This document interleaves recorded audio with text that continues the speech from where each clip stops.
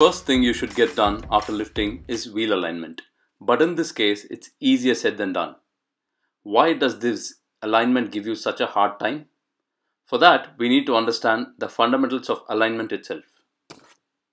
Funny problem is that a lifted Gurkha with a roof carrier doesn't fit into your small wayside alignment shop. You need to find a bigger one with an open bay.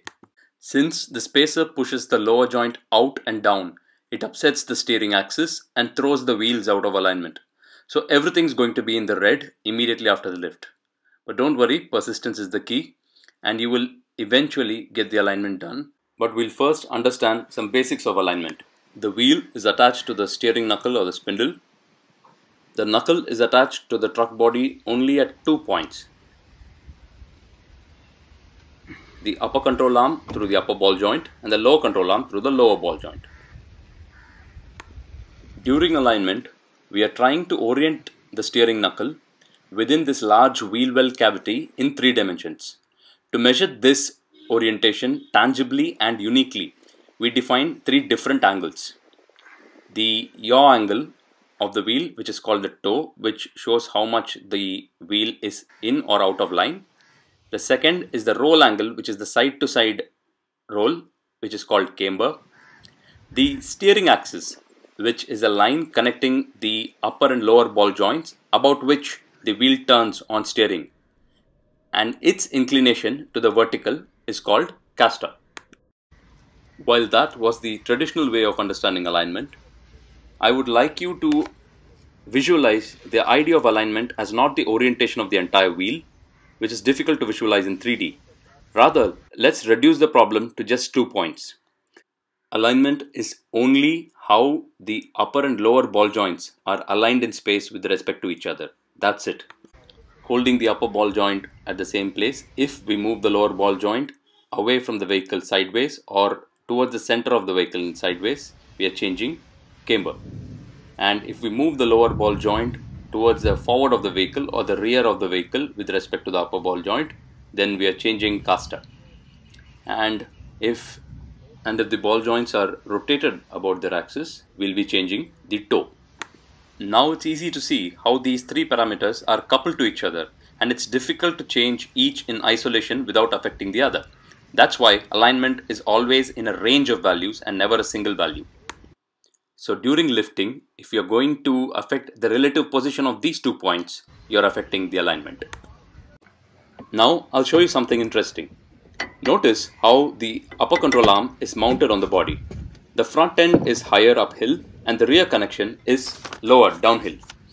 This upper wishbone or A arm is inclined with respect to the horizontal. This is called brake dive geometry and is provided because when you slam the brakes, the front end nose dives and all the weight is going to mount up on the front suspension. This inclination achieved by the brake dive geometry is going to counteract that brake dive effect by the inclined UCA giving a reverse reaction to the nose diving vehicle. Due to this inclined mounting arrangement, the upper ball joint will not move vertically down during wheel travel and will actually move with a slight forward bias.